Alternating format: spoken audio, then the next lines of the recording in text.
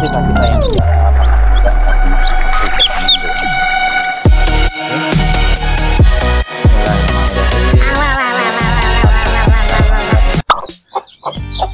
assalamualaikum warahmatullahi wabarakatuh. Om Swastiastu, Namo Buddhaya, salam kebajikan, salam sejahtera untuk kita semua. Salung Rahayu. Uh, selamat datang kembali, welcome back uh, Rawuh to our channel, Academy channel. Jadi uh, ceritanya acaranya kita pagi jelang siang hari ini uh, akhir jelang akhir bulan di bulan April 2020 keempat uh, kita pagi-pagi seperti biasanya juga sudah berkegiatan beraktivitas uh, remah-remah dan remeh-remeh yaitu membersihkan pekarangan dan juga sekalian kandang ayam. Jadi uh, ceritanya kita kemarin kan barusan menetaskan ayam jumlah sebenarnya telurnya 25 tapi yang menetas adalah 24 dengan indukannya ada dua.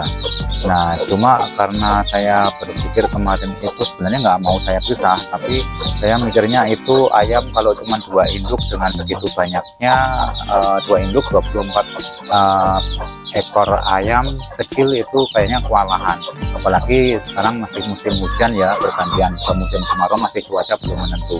Nah, akhirnya saya memutuskan untuk pagi hari ini untuk memisahkan ayam uh, sejumlah 20 terus yang empat itu kita ikutkan di satu induk. Itu yang empat kita ikutkan di satu induk. Nah oke. Okay. sementara yang 20 sisanya itu masih uh, masih uh, apa tidak kita pisah dan satu lagi untuk satu induknya itu karena dia induknya masih induk baru ya. E, baru bertelur sekali dan baru mengerami sekali artinya juga, juga baru e, proses penetasannya juga baru sekali artinya dia embehan kalau bahasa Jawanya. Itu masih dalam e, masa pembelajaran untuk proses pengaraman dan nanti e, perawatan anak. Kemarin itu sebenarnya sehari atau sore hari kita sudah coba saya sudah coba untuk saya turunkan dan saya e, apa saya sertakan anaknya sejumlah lima anak tapi saya lihat saya amati ternyata dia belum bisa ngasuh belum bisa ngomong anak. Nah itu kan nah itu berdasarkan pengamatan yang saya lakukan maka eh, kemudian saya memutuskan untuk sudahlah ini karena kalau orang Jawa bilang itu kalau tembehan itu mendingan dibajar oke gitu kan. Eh, dibajar itu apa ya? Eh, digagalkan. Nah mendingan digagalkan karena eh, besar kemungkinan dia nanti kalaupun ada yang hidup cuma cuma sedikit gitu kan. Misalnya dari 10 ya cuma dua yang nyampe gede kayak gitu. Nah itu kan hitungannya rugi di waktu dan dan nantinya juga rugi di perawatan termasuk pakan juga. Nah itu makanya uh, mendingan saya pisah saya berencana untuk saya box tersendiri kayak gitu nah gitu. Sementara yang induk satunya kan sudah tiga kali kalau nggak salah tiga atau empat kali. Nah dia artinya sudah bisa mengatur sudah terbiasa. Nah makanya saya sertakan tapi cuma empat. Karena apa? Ya biar biar yang saya blok genap 20 uh, karena penetasannya kan dari 25 13 dan 12 itu yang menetas yang berhasil menetas itu cuma cuma ada apa? Uh, 24 12 dan 12 kayak gitu. Oke tanpa berpanjang lebar uh, mari kita proses lakukan untuk pemisahan yang kemudian kita nanti masukkan ke dalam box terpisah untuk kita rawat sendiri jumlah 20 ekor anak ayam. Oke dok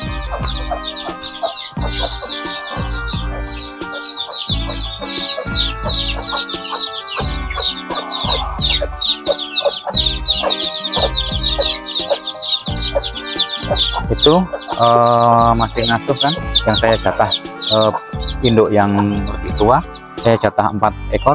Nah itu dia sudah bisa inilah mengasuh anak. Oke okay. sorry sementara ada yang di ujung itu juga beda induk lagi ya. Itu uh, proses pengeraman yang lain lagi. Sementara yang pengeraman yang berhasil yang 12 juga ini adalah di dalam ada di dalam kandang ini. Nah ini sudah saya pisah sehari yang lalu karena proses pengeramannya bareng saya pisah sehari yang lalu dan kemudian saya mandikan. Uh, saya mandikan sehari dua atau tiga kali kayak gitu. Karena apa?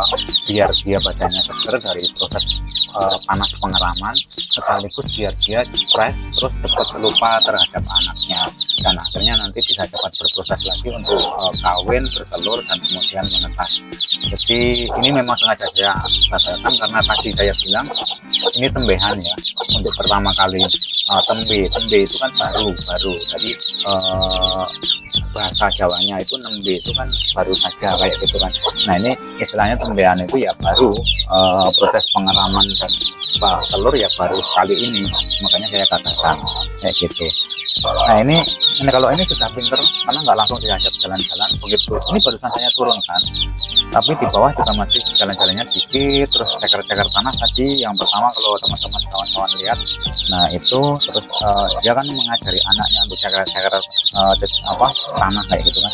Nah kalau sudah capek ya gini dia diem dia uh, apa sih ini dia rangkul dia rami kita dia kasih kehangatan kayak gitulah. Oke seperti itu teman-teman semuanya.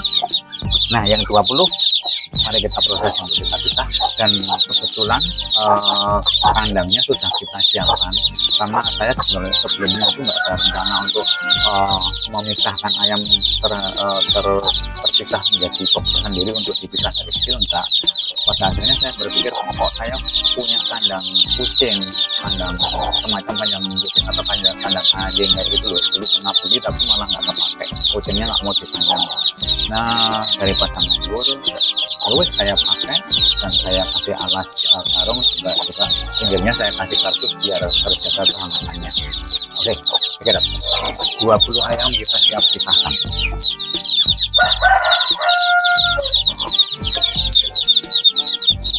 satu dua tiga empat lima enam tujuh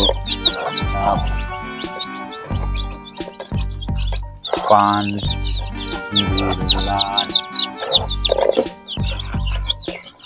sepuluh nah ini jumlah 20 anak ayam oke okay.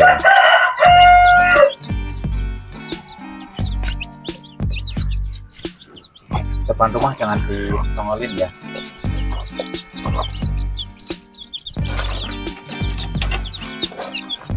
Oke. Langsung menuju kandang saja. Jangan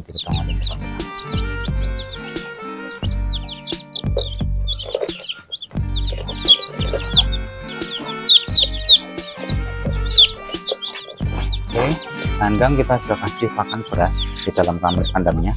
Ini sebenarnya sisa-sisa yang dia makan juga tadi waktu bersama induknya oke Bismillahirrahmanirrahim. Sallallahu Muhammad lancar-lancar sukses-sukses jalan rezeki.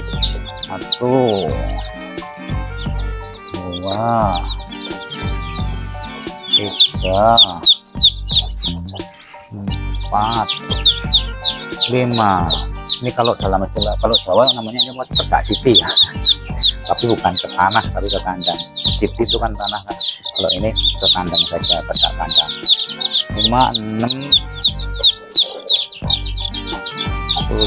tujuh delapan sembilan sepuluh.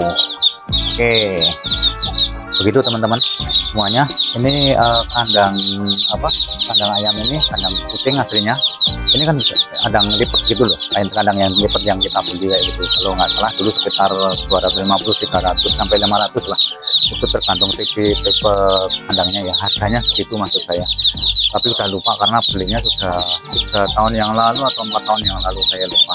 Kayak gitu uh, terus buat kehangatan saya kasih kardus pinggirnya tapi jangan full karena biar dia juga punya ruang pandang kayak gitu.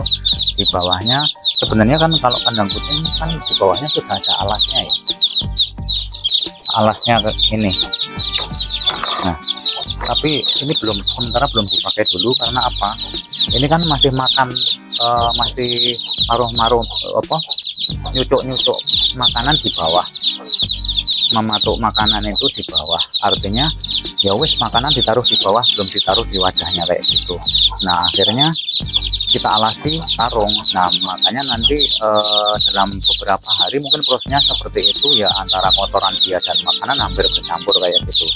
Tapi setelah sekian hari saya lupa nanti lihat prosesnya lah. Itu ini karung kita ambil eh, langsung kotorannya akhirnya ke bawah. Ini kalau kalau karung kita ambil kan ini nah kayak gini langsung kotoran kayak gitu. Oke lu udah ada, ada semutnya. Semutnya cepat banget semutnya. Oke teman-teman.